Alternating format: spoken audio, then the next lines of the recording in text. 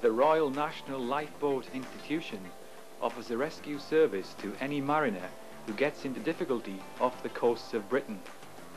Here at picturesque Ilfracombe on the North Devon coast, the RNLI have a problem of just getting into the water with their lifeboat.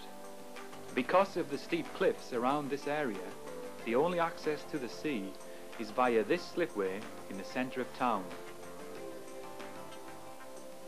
As the boathouse is some metres away, and the tide goes out to beyond the harbour wall, the crew used to be exhausted just pushing their boat into the water.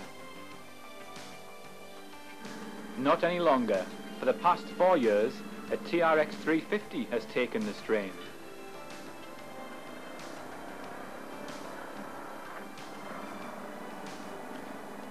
During the short journeys to the slipway, the driver has to contend with other traffic and pedestrians.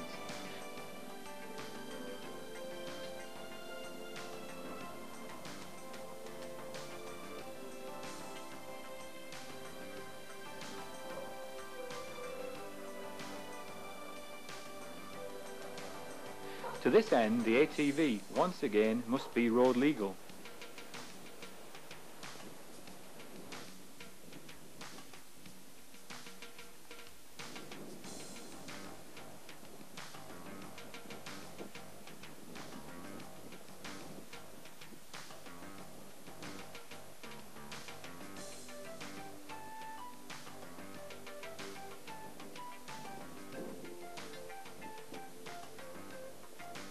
The lifeboat people now own 17 of our 350s and have them in service all over the British Isles.